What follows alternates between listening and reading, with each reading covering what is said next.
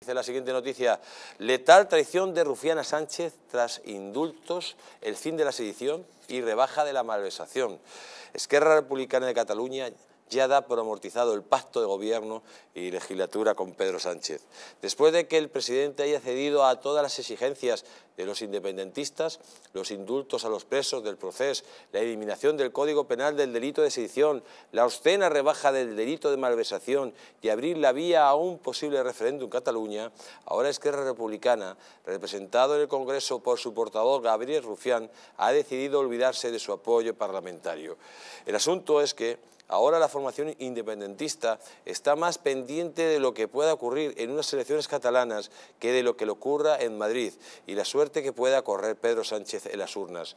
Según fuentes solventes de Esquerra Republicanas, los catalanes dan por finiquitado el pacto con Sánchez por una sencilla pero contundente realidad. Entienden que no le pueden exprimir más políticamente. No es que no se den por satisfechos por las inéditas e históricas cesiones del Gobierno central a sus pretensiones, sino que han hecho un cálculo cronológico y no hay tiempo para más. Los republicanos catalanes creen que la presente legislatura está agotada, en tanto y cuanto apenas quedan 11 meses para las elecciones generales. Pero hay que tener en cuenta la cita electoral de mayo, la autonómica y local, y eso condicionará gran parte de las decisiones parlamentarias y del Consejo de Ministros. Pues lo dice claramente esta noticia, amigos. Lo cierto que es que eh, los independentistas han exprimido el limón de Sánchez, al melón, mejor de Sánchez, porque es un melón, lo han exprimido a fondo y le han sacado todo lo que han podido. Ahora llegan elecciones y lógicamente tienen que marcar las diferencias con los socialistas, que por cierto son sus grandes rivales en Cataluña. Hay que decir que el partido que ganó las elecciones en Cataluña fue el Partido Socialista. Por lo tanto, tienen que marcar esas diferencias para poder alcanzar alcaldías, alcanzar eh, ayuntamientos, etcétera, etcétera, etcétera.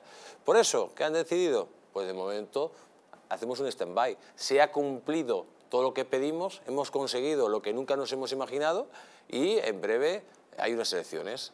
Lo siguiente pues puede ser el referéndum, pero de momento las elecciones. Y dejemos al señor Sánchez a un lado. ¿Por qué?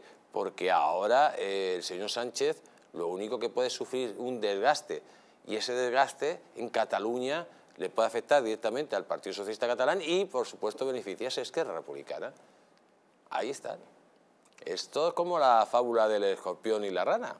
Al final, cuando el escorpión le pica a la rana, le dice, es que va en mi naturaleza. Pues eso, Sánchez, si tú has pactado con el diablo, el diablo ahora hace contigo lo que hace siempre, que va a lo suyo y no le importa para nada que hayas vendido la dignidad de España y sobre todo vendido el Estado de Derecho para dar consuelo a aquella republicana que ahora te deja de lado.